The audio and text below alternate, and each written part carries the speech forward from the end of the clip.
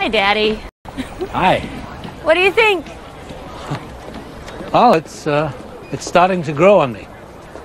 Oh, I've got a, a, a baritone with a balalaika coming from the Russian tea room. I've dressed him in a Cossack shirt, and he'll be singing Nelson Eddy songs. Wow. You really are amazing.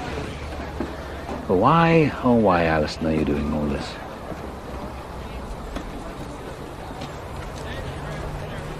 I do it because I love you. Because everybody loves you. Mommy, wherever she is, Susan, Quince, God, all the people you work with, anyone who's ever met you. Oh, Daddy. After all, you've been a wonderful father. Well, I haven't been the father to you that, uh, That you've been to Susan, no, I wasn't going to say that. but that's what you were thinking. And that's okay. Because I know that you love me. I mean, it's not like it is with her. Whenever she walks into the room, you know, your eyes light up and she always gets a smile from you as opposed to me. When I walk in,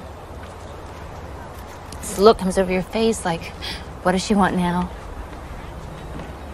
But you've never let either of us want for anything. More than that, Daddy, more than that.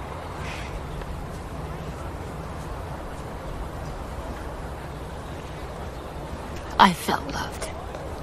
And that's all that matters. So, never mind favorites. You're allowed to have one.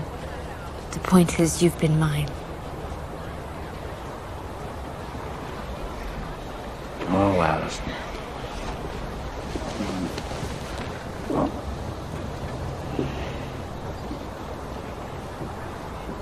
I really feel I have everything I could have ever wanted for my birthday. Wait a minute. What? There's more to come.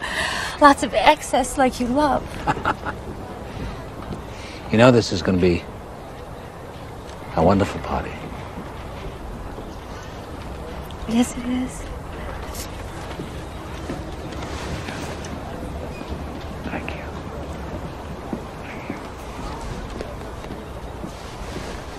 Happy birthday.